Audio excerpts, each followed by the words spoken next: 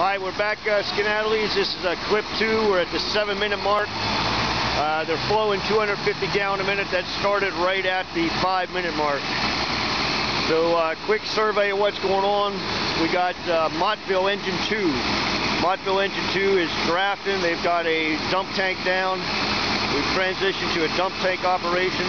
They're supplying yellow uh, Skaneateles pumper back in the parking lot, and we're at 250 flow. At the 10 minute mark, we're going to jump that up probably to 500 or 750, not sure yet. The Sennett engine tanker is dumping his load of water. Got another engine tanker coming in from Sennett. He's going to dump his load of water as they start to grow the uh, dump site out. That small red dump tank came from this Mottville engine uh, they carry a small one on the engine so that they can get started.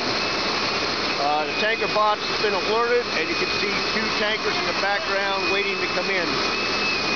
So let's walk around. We're supplying this operation with 5-inch hose off of a high-flow discharge. Should not be any problem. We have another Mottville rescue pumper that's arrived. He's going to pump his water off and then probably head out or serve in a reserve capacity.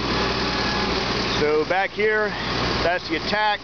He's taking in a five inch line direct and he's also uh, taking a two and a half, taking some water from Mottville. When Mottville's empty, then they'll be ready to go. So some redundancy that's built in. Thus far, a good job. Nobody's lost any water.